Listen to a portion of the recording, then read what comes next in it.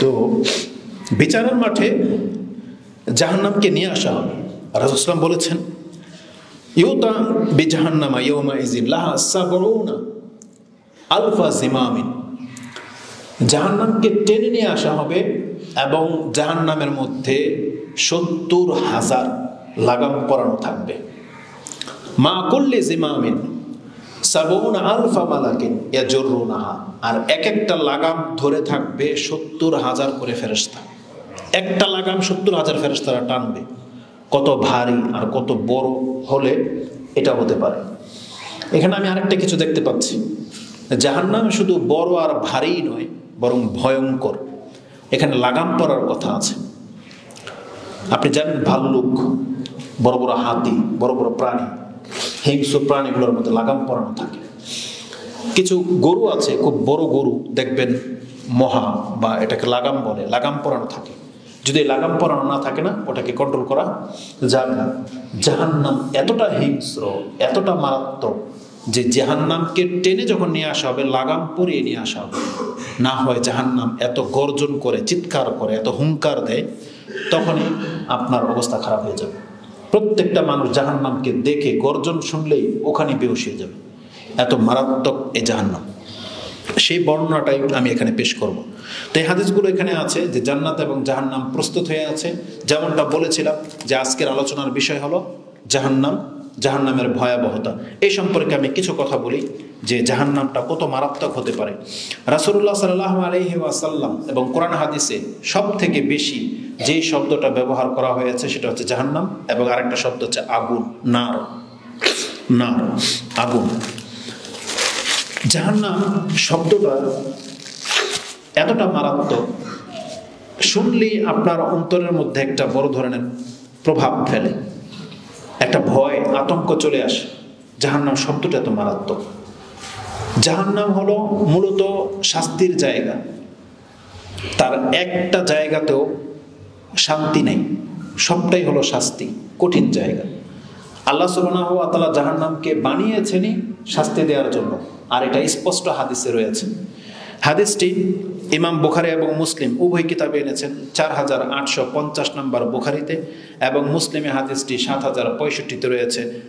আল্লাহ সুবানা হুয়া তালা জাহান্নামকে সৃষ্টি করার পরে জাহান্নামকে বলতেছেন, আন্তি আজাবি ও আজিবুবিকি মান্না শাহ উমিন এবাদি তুমি আমার আজাব আমি তোমাকে দিয়ে আমার বান্দাদের মধ্যে যাকে চাই আমি শাস্তি দিয়ে ছাড়ব।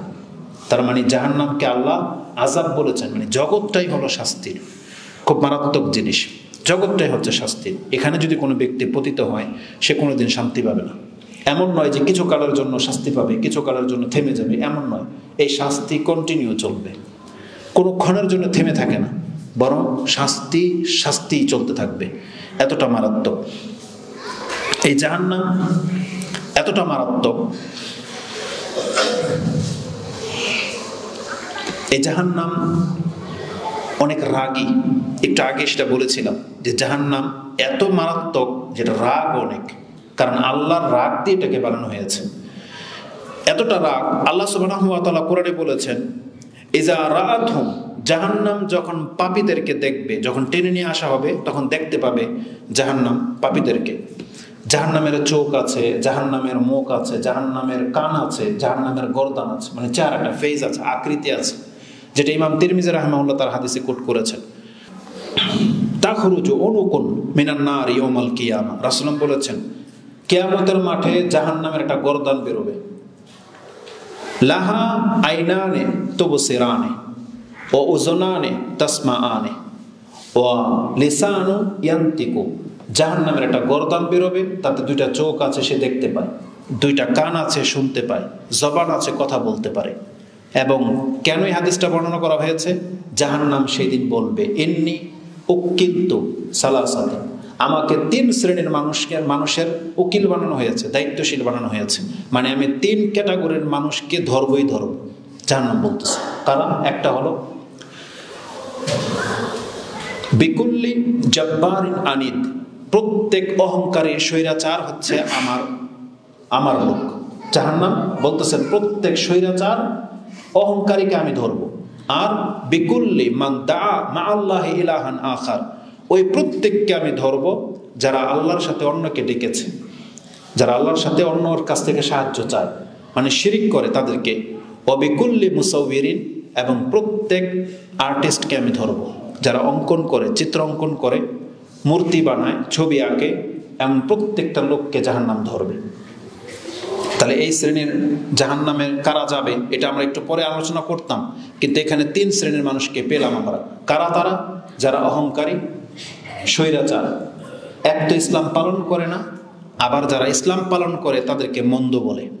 এক তো তারা ইসলাম পালন করে না, আবার ইসলামের বিধানকে নিয়ে ঠাট্টা করে। এগুলো হচ্ছে উদ্যত্তকারী জব্বার বলা হয়েছে আনিদ মানে অত্যন্ত বিদ্বেষী লোক। এদেরকে জাহান্নাম ধরবে। এবং যারা আল্লাহর সাথে শিরিক করেছে, তাদেরকে জাহান্নাম ধরবে। এবং যারা ছবি অঙ্কন করেছে, তাদেরকে জাহান্নাম ধরবে। এই কথাগুলো আমাদের মুসলিম সমাজের মধ্যে এত বেশি আমরা বলতে ইচ্ছা করে। কেননা, আমাদের নেতা শ্রেণির মানুষগুলো বা যারা ইসলামটাকে মনে করে যে জঙ্গিবাদ বা এরকম কিছু, আমরা যখন এই ধরনের কল্যাণকর কিছু বলি, এটা তাদের গায়ে লাগে। তারা মনে করে যে এটা তাদের প্রগতিতে বাধা। তারা মনে করে আমরা নাকি তাদের প্রগতি, তার চলমান রাজনীতিতে নাকি আমরা ইন্টারফেয়ার করি। মূলত মুসলিম ভাই হিসেবে। আপনার যত বড় পাপ আছে, পাপ নিয়েও একদিন একদিন আপনি জান্নাতে যাবেন। কিন্তু এই ধরনের পাপ, যেগুলো ইসলামের সাথে সাংঘর্ষিক, যেগুলো শির্কের পর্যায়ে নিয়ে যায়, যেগুলো আল্লাহ সুবানা হুয়া তালার সৃষ্টির মতো করে কোনো ব্যক্তি সৃষ্টি করতে চায়, আল্লাহ তাকে কোনোদিন মাফ করবে না। তাহলে সাধারণ দুনিয়ার জন্য আপনার নেতা নেতৃত্বে আপনার ওই বিভিন্ন ব্যক্তিকে ভালোবাসতে গিয়ে আপনি পুতুল বানান, ছবি অঙ্কন করেন, এটা মুসলিম হিসেবে যায় না। আপনাকে বাঁচতে হবে। আপনি কীভাবে নেন নেন, কিন্তু কোরআন হাদিস বলতেছেন আপনাকে বাঁচতে হবে। এই জন্য আমাদের সন্তানদেরকে বিশেষ করে ছবি অঙ্কন করা থেকে বাধা দিয়ে রাখতে হবে। আপনার সন্তান যখন আর্ট করে ঘরে, ফুলের ছবি আঁকুক, গাছপালার ছবি আঁকুক ঘর বাড়ি বানাক, প্রাকৃতিক দৃশ্য বানাক কোনো আপত্তি নেই। কিন্তু সে যেন ভাব, ভাল্লুক, কোনো প্রাণী, এই ধরনের কোনো কিছু যেন না আঁকে। কারণ মানুষের আকৃতি, মানুষের চেহারা, এগুলো যেন অন্তত না করে। কারণ এগুলো যারা করবে, তারা চিরস্থায়ীভাবে জাহান নামে প্রবেশ করবে। আল্লাহ কিন্তু তাদেরকে কোনোদিন ক্ষমা করবেন না। তো জাহান নামের আকৃতি আছে জাহান নাম কথা বলে জাহান নাম ধরবে। এই জাহান্নামকে যখন নিয়ে আসা হবে রাসুল্লাহ সাল্লাহ বলেছেন যে কোরআনের যে আয়াতটা আছে, ইজা রাত হুম জাহান্নাম যখন পাপীদেরকে দেখতে পাবে মিম্মাকানিন বাঈদিন দূর থেকে। কি করবে? সামিউলাহা তাগাইয়া যাও তারা শুনতে পাবে জাহান নামের গর্জন কি জিনিস। সামিউলাহা তাগাইয়া যাও ও জাফিরা এবং জাহান নামের চিৎকার তারা শুনতে পারে, হুঙ্কার শুনতে পাবে। এটা সুরা ফুরকানের বারো নম্বর আয়াতে রয়েছে। কোরআনে সুরা মুলকে আল্লাহ বলেছেন? ইজা উলকু ফিহা সামিউলাহা শাহিকাম ওয়াহিয়া তাফুর। যখন জাহান্নামে পাপীদেরকে নিক্ষেপ করা হবে, তখন তারা দেখতে পাবে যে জাহান্নাম কত গভীর চিৎকার করে বা কত জোরে জাহান্নাম মানুষকে হুঙ্কার দেয়। দেখতে পাবে। কেন? তাকা দু তামাইয়া জমিনাল গাইজ। জাহান্নাম এত কঠিনভাবে বানানো হয়েছে, সে রাগে ফেটে যাওয়ার উপক্রম ঘটবে। যে কোনো পাপিকে দেখলে জাহান্নাম রাগে ফেটে যাবে। এতটা মারাত্মকভাবে জাহান্নামকে সৃষ্টি করা হয়েছে।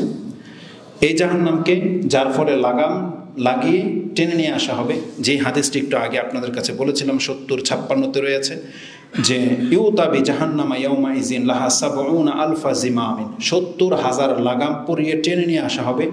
এটা মূলত এই জাহান্নামের ভয়াবহতার কারণে, অন্য কোনো কারণে নয়। এই জাহান্নামকে টেনে নিয়ে আসা হবে। এটা অত্যন্ত মন্দ জায়গা। জাহান্নামের পরিচয় সম্পর্কে কোরআন হাদিস যেটা বলা হয়েছে এটা অত্যন্ত মন্দ জায়গা। আল্লাহ সুবাহ বলেন ওয়াইন্না লিত্তাগিনা লাশাররা মাআব। নিশ্চয়ই সীমালঙ্ঘন যারা করে, তাগুত যারা, তাদের জন্য সাররা মাআব। এই জাহান্নাম হচ্ছে অত্যন্ত মন্দ জায়গা। জাহান্নামা ইয়াসলাউনাহা ফাবিসাল মিহাদ। এবং এখানে যারা পতিত হবে, যারা বসবাস করবে, এটা অত্যন্ত খারাপ জায়গা। আল্লাহ নিজে বলেছেন জাহান্নাম অত্যন্ত খারাপ জায়গা, যেটা সোরা সদ আটত্রিশ নম্বর সুরার পঞ্চান্ন, ছাপ্পান্ন নম্বরে পেয়ে যাবেন। এটা এতটা মন্দ জায়গা যেখানে কেউ সহ্য করার মতন অবস্থায় থাকে না। সহ্যই হবে না। মোমিনদেরকে আল্লাহ দোয়া করতে শিখিয়েছেন, যেটা আপনি সুরা ফুরকানে পেয়ে যাবেন। তাদের একটা আয়াত হচ্ছে এটা। না, আলী ইমরানের সুরা ফুরকানে রয়েছে, ছেষট্টি নম্বর আয়াতে, যে তারা জাহান্নাম থেকে আল্লাহর কাছে আশ্রয় চায় এবং বলে এন্নাহা সাত এন্নাহা সাআত মুস্তাকাররান ও মোকামা এটা অত্যন্ত মন্দ বসবাসের জায়গা। এই জাহান্নাম, অত্যন্ত মন্দ জায়গা। এই জন্য আমাদেরকে আল্লাহর কাছে জাহান্নাম থেকে আশ্রয় চাইতে বলা হয়েছে। যারা স্থায়ী জাহান্নামি হবে, বলেছিলাম যে জাহান্নামের মধ্যে এমন হবে না, দুই এক ঘণ্টা শাস্তি, আবার দুই এক ঘণ্টা থেমে যাবে, এমন হবে না।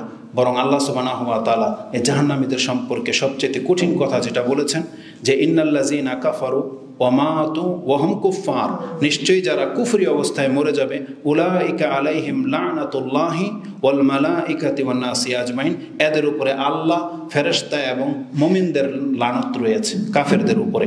তারপরে বলেছেন, খালিদিনা ফিহা। এরা চিরস্থায়ী জাহান্নামের মধ্যে থাকবে। লা ইউখাফফাফু আনহুমুল আযাব।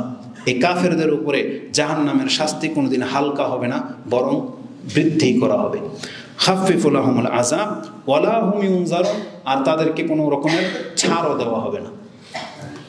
স্থায়ী জাহান নামে যে কাফের, কুফুরি অবস্থায় যারা মরে যাবে, তাদের শাস্তিকে হালকা করা হবে না এবং তাদেরকে মুক্ত করা হবে না। এটা আল্লাহ সুবাহ সুরা বাকারা একশো একষট্টি, একশো বাষট্টি নাম্বার আয়তে বলেছেন। তেমনি সুরা নাবার মধ্যে আল্লাহ সুবাহ বলেছেন, ইন্না জাহান্নামা কানাত মের সহদা নিশ্চয়ই জাহান্নাম উৎপেতে আছে। মানে পাপীদেরকে ধরার জন্য প্রস্তুত হয়ে আছে। মেরসাদ ডাকাতকে বলা হয়, যারা লুকিয়ে থাকে উৎপেতে থাকে, আসলেই ধরে, এরকম। তো এই জন্য বলা হয়েছে, ইন্না জাহান্নামা কানাত মের সাদা জাহান্নাম উৎপেতে আছে ধরার জন্য লিত্তাহিনা মা আবা কাদের জন্য? যারা সীমালঙ্ঘন করে, তাগুত। সীমালঙ্ঘন কি? ইসলামের যে কোনো বিধিবিধানকে আপনি তাওয়াক্কা করলেন না, ছুঁড়ে ফেলে দিন। এটা হচ্ছে সীমা লঙ্ঘন করা। আপনি জানতেছেন যে এটা ইসলামের বিধান নয়। আপনি ড্যাম কেয়ার মানে এটাকে পাত্তাই দিচ্ছেন না আপনি। ছোট্ট একটা উদাহরণ নিয়ে নেন। বিয়ে শাদির মধ্যে। বিয়ে শাদির সাথে ইসলামের কি সম্পর্ক? মাত্র কয়েকটা কাজ। মেয়ের বাবা বলবে, আমি আমার মেয়েকে বিয়ে দিলাম। ছেলে বলবে, আমি কবুল করলাম, দুজন সাক্ষী। হয়ে গেল বি একটা মোহর ধার্য করবে, ঝামেলা শেষ। রাষ্ট্রীয়ভাবে রেজিস্ট্রেশন করা হবে। এটাই হচ্ছে বিয়ে।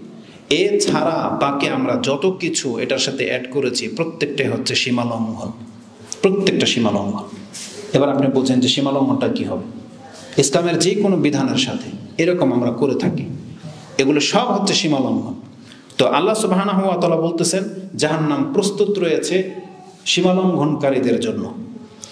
ফাজুকু ফালান নাজিদাকুম ইল্লা আযাবা। তাদেরকে আল্লাহ সুবহানাহু ওয়া তাআলা বলবেন যে, তুমি শুধু স্বাদ পেতে থাকো মানে জাহান্নামের শাস্তি ভোগ করতে থাকো। আজকে, ফালান নাজিদাহুম, নাজিদাকুম ইল্লা আযাবা। আজকে শুধু তোমাকে বৃদ্ধি করা হবে। কি? শাস্তি। শুধু বৃদ্ধি করা হবে। একজন তাবি বলেছেন বা মুফাসসিরগুন বলেছেন, জাহান্নামীদের জন্য এর চাইতে কঠিন কোনো কথা হতে পারে না। একটা ব্যক্তি জাহান নামে চলে যাবে, গেল। কিন্তু যখন তাকে বলা হবে, তোমাকে শুধু শাস্তি বেশি দেওয়া হবে, আর কিছু দেওয়া হবে না। তার মানে তোমার শাস্তি খালি বাড়তেই থাকবে বাড়তেই থাকবে। এটা জাহান নামীদের জন্য অনেক কঠিন একটা কথা। তো এরপরে আগুনের বর্ণনাগুলো আসবে।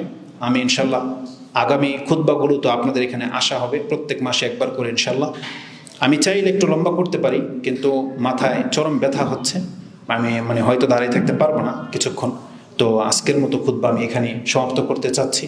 রাসুল্লাহ সাল্লাহ আলহি ওয়াসাল্লাম এই জাহান নামের দৃশ্যটা আমাদের কাছে তুলে ধরেছেন এবং বারবার বলেছেন, ইত্তাকুন্নার। দেখো তোমরা জাহান্নাম থেকে বাঁচো। ইত্তাকুন্নারা অলৌবি শিক্ষিত আমরা দিন তোমাদের কোনো ব্যক্তি যদি, তোমাদের মধ্যে কোনো ব্যক্তি যদি এতটুকু দান করার ক্ষমতা রাখো, এতটুকু, তাহলে তাও করো।